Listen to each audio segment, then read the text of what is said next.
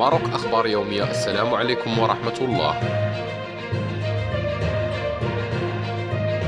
تمكنت عناصر فرقة مكافحة العصابات التابعة للمصلحة الولائية للشرطة القضائية بمدينة أكادير بتنسيق وثيق مع مصالح المديرية العامة لمراقبة التراب الوطني منتصف نهار يوم الاثنين 25 أبريل الجاري من توقيف ثلاثة أشخاص من بينهم سائق سيارة أجرة وطالبان بجامعة ابن الزهر وذلك للاشتباه في تورطهم في حيازة العشرات من الأسلحة البيضاء المصنوعة بشكل تقليدي بغرض استخدامها في ارتكاب جنايات وجنح ضد الأشخاص.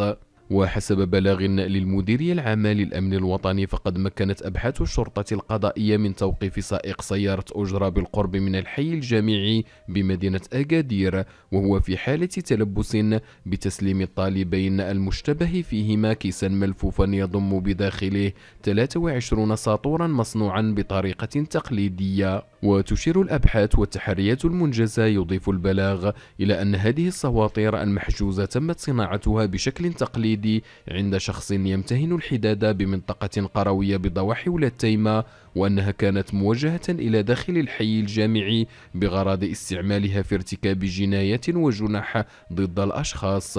وقد تم إخضاع الأشخاص الثلاثة الموقوفين للبحث القضائي الذي أمرت به النيابة العامة المختصة للكشف عن ظروف وملابسات وخلفيات صناعة وحيازة هذه الأسلحة البيضاء الخطيرة على أمن الأشخاص والممتلكات.